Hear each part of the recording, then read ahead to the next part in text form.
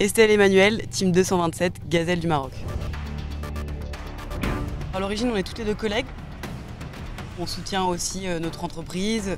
On est fiers de participer et de représenter euh, bah, les couleurs et, finalement un peu tout ce qui, toutes les valeurs que véhicule notre marque, c'est-à-dire la détermination, euh, la mise en avant de la femme, le dynamisme, la cohésion de groupe, justement notamment dans l'épreuve des dunes, on a retrouvé cet engouement et ce, fait d'être travaillé entre femmes et de se dépasser ensemble.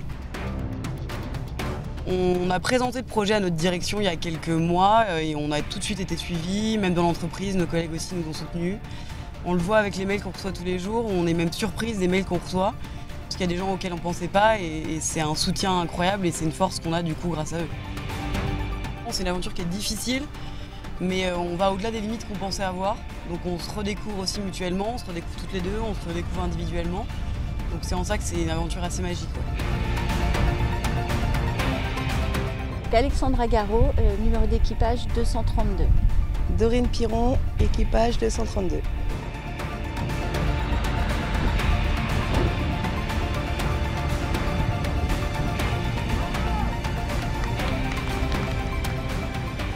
Là tu reviens sur du plat. Euh, C'est ça, tu prends cette trajectoire-là où tu les suis comme ça, mais après ça, ça faut remonter comme.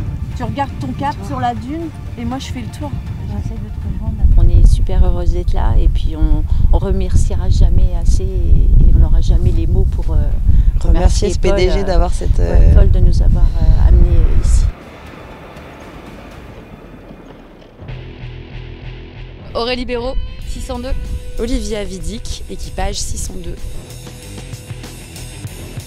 Je suis allée voir la direction du groupe pour leur présenter un, projet qui, met en avant les femmes, l'écomobilité et l'esprit d'équipe.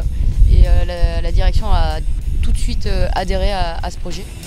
J'ai proposé à Olivia d'être ma pilote parce qu'on est euh, de très bonnes amies depuis quelques années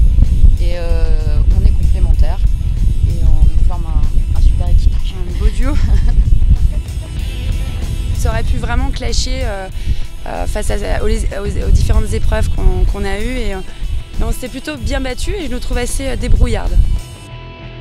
On a reçu effectivement des messages de, mes collaborateurs directs et euh, de ma hiérarchie qui, nous ont euh, encouragés au travers des mails qu'on a reçus. On a eu beaucoup d'ennuis mécaniques, mais euh, on est toujours là, la voiture est toujours entière et l'idée c'est quand même de bien, bien arriver jusqu'au bout, jusqu'à Essaouira, même si au niveau du classement on ne sera, pas, sera pas top. Mais en tout cas au niveau de la combativité, je pense que là on a bien porté les valeurs.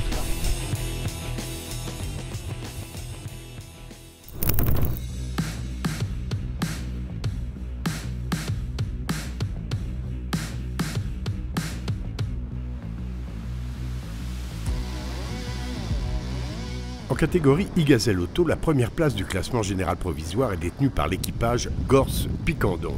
Près de 70 km les séparent des numéros 504, Layati-Paquin, et en troisième position, on trouve le tandem Bucaro-Guérin. Même si les écarts semblent importants, rien n'est encore joué. Rappelons que certaines pénalités peuvent atteindre 200 points. La sixième étape reste donc décisive.